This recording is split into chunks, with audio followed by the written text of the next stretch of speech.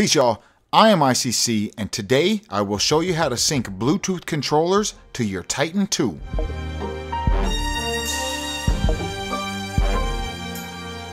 The Titan 2 can connect to many different consoles, including but not limited to the PlayStation 3 and 4, Xbox 360 and 1, Nintendo Switch, Raspberry Pi, and more. It supports controllers from all of those consoles, plus many more including Retrobit and 8BitDo controllers as well as arcade sticks. Hori, Scuf, Razer Raiju, and Mad Catz are all supported. You can crossplay with any of the supported controllers on any of the supported consoles. I personally like to use my PlayStation 4 controller on everything besides retro and arcade stuff. Then I use my SN30 Pro and my N30 arcade stick respectively. If you want to use an Xbox One controller on everything, that is an option too. So anyways, for now, I'm going to show you how to sync Bluetooth controllers. I'm not going to do a video for every single controller unless it requires something special. The first two steps would be installing your Bluetooth module and updating the firmware on the Titan 2. If you need help doing either of those steps, I have a video for it. Just look for this thumbnail here and I will show you exactly how to install the module and update the firmware. But for now, let's sync a controller. So what you need to do is plug your Titan 2 into your PC or Mac via the prog port on the back.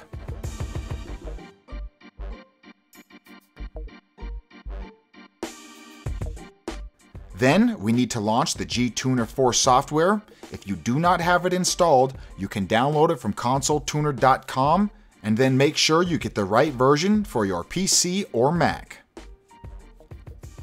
Once you have the software up and running, remember to do that firmware update. Just click Tools, check for updates, and update your Titan 2. It may take a minute or two, but it won't be very long. Now we need to click the device configuration tab, then just come up here near the top, there is pair controller wirelessly. Don't click it yet. First, let's put the controller we want to use into sync mode. For a PlayStation 4 controller, hold the share button and the PlayStation button at the same time for about 5 seconds. Once you see the rapid flashing on the LED, then you can come back to your computer and click Pair Controller Wirelessly. That's all you need to do.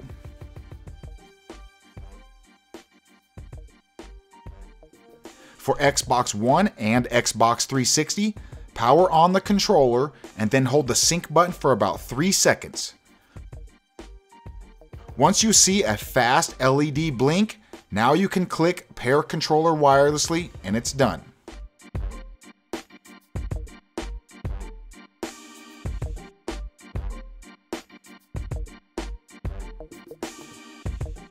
For Wii U Pro, just tap the sync button. Once you see the lights blinking, click pair controller wirelessly.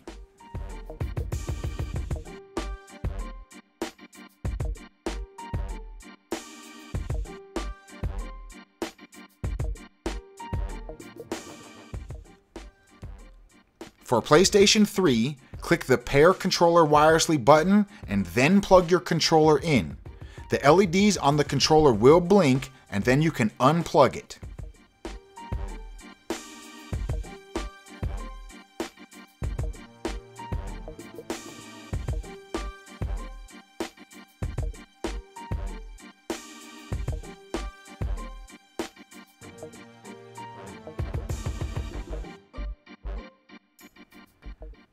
You can use almost any Bluetooth controller, and support for more controllers is always being added. So if it doesn't work now, just check back at a later time.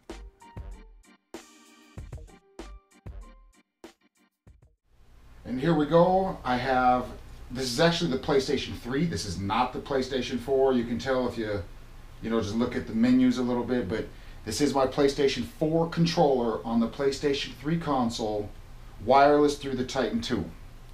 I'm just going to show a little bit of video on a few of the controllers working if I show all of the controllers and all of the combinations on all of the consoles, we're going to be here all day. So I'm just going to show a few controllers on a few different consoles. For example, the PlayStation 4 controller on the PlayStation 3 console. So, um, I haven't turned on my PlayStation 3 in a while, but you can see when I hit down, it goes down. I guess I'll just click Marvel vs. Capcom 2, do arcade, medium. We'll just get all into that. That doesn't matter. So, okay, I'm going to pick Ryu. I guess I'll do Akuma. And last one, I'm just going to pick whoever it's on. I'll just... Ruby Heart. I don't know Ruby Heart. I'm going to change that. Go to someone... I don't know. This doesn't matter too much. I'm just going to pick Wolverine. Get to some gameplay. It works great so far. I mean, you see I'm backing up. I'll jump. They punch, punch, kick, kick. R1. Oh, okay, that's assist. I should. I guess I should block. L1 is the other assist. R2 may not have a function. I know to tag is the 2 and to tag is the 2. Throw a fireball. So, yeah, looks good to me. Looks great to me. Now we're wireless. So we're going to cut it here. I'm going to set up, uh, I guess let's do Xbox One on the PlayStation 3 since I'm already on the PlayStation 3. So I'm just going to hit pause right here, bring it back, Xbox controller, same game, same round, same everything. I'm just going to hit pause, so I'll be right back. Okay, so we're back. Keep in mind, after you set it up once, the files for your controller are stored on the Titan 2, so you do not have to keep syncing the controllers. All I had to do here was turn off my PlayStation controller and turn on the Xbox controller, and that's all I had to do to switch. Now I'm over here playing as Ryu on my Xbox One controller on the PlayStation 3 console. So, I mean, again, punch, punch. Well, as soon as he stops attacking me, I'll show you the buttons that... Okay, dude. What is this? Okay, all of a sudden this dude wants to try so hard. What is he doing? Get some assistant here. I don't know what this guy doing all of a sudden. All of a sudden he's like trying really hard. Can't even like move all of a sudden. Keep calling some assists. I wanted to get Ryu in here, but... Okay, so anyways, there's the Xbox One controller working on the PlayStation 3. Next, I guess we'll go to the Wii U controller, and I'll just hit pause again on the game. And we'll be right back with the Wii U Pro. So we are back with the Wii U Pro on Marvel vs. Capcom. Alright, so anyways, I'm to try a different game now just because I've showed a lot of Marvel vs. Capcom. So we're going to quit that. So this game takes a long time to load. I'm actually going to cut out all that loading and just start right here because that was ridiculous. So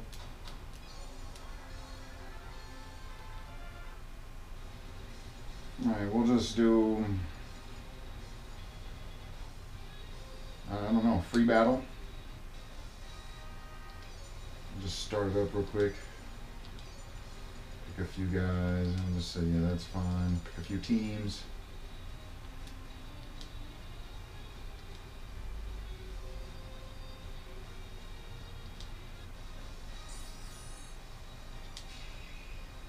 So yeah, here's Kunio-kun on the PlayStation 3 with a Wii U Pro controller. So let's check it out, see how it is, see if there's any lag.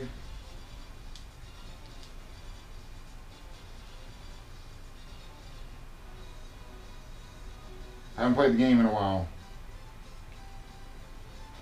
And I am just one of the, oh no, I'm just the, I'm a cheerleader, I'm not Kunio. Get off. Oh, I forgot the button, let's jump. Okay, there. Oh, I hit the wrong button. How do you... Oh, no, see, I'm hitting the wrong buttons for jump. Dang it. Okay. Last place. Oh no. I think first place has a lot of points.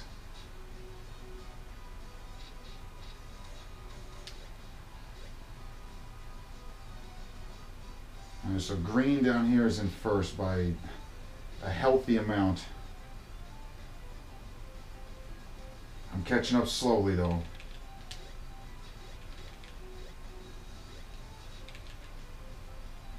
Hopefully after this, if he finishes fourth on the screen, or if I could take points away, then I might be able to catch up on the screen. Trying to take some points. Nice.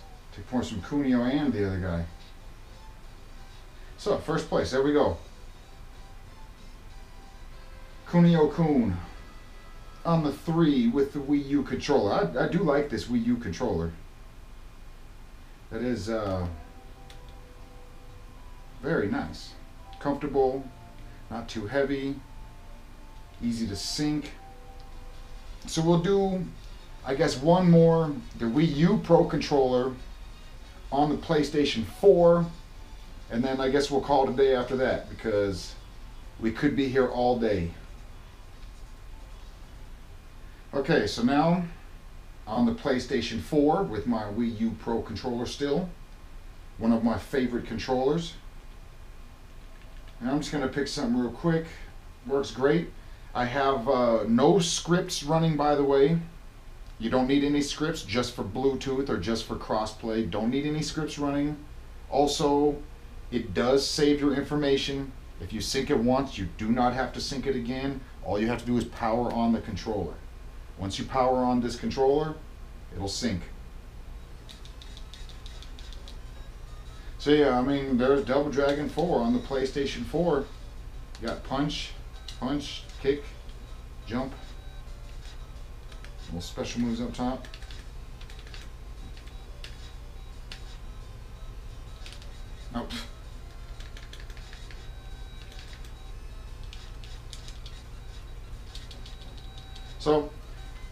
Double Dragon 4. I'm ICC, y'all. Thanks for watching. Peace.